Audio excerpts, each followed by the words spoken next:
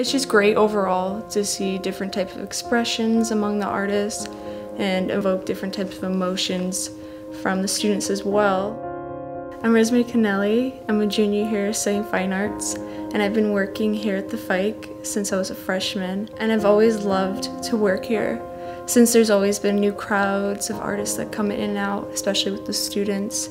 There's always teachers, artists that have new exhibitions. It's important to create like a stronger connection between Poultney and the GMC community since there's always kind of felt like a bit of a divide between the two communities.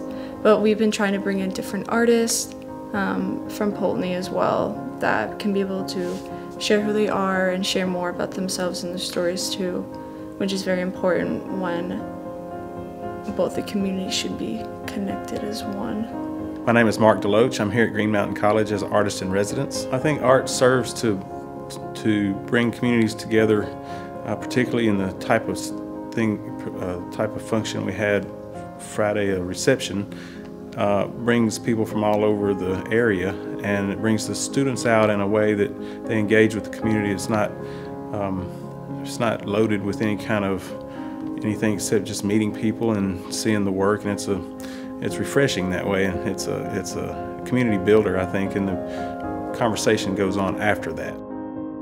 It's a very positive environment being in the Feick, as well as CERDM. So different. It's great to see different crowds to come in that we've never seen before, especially when we had the REED program.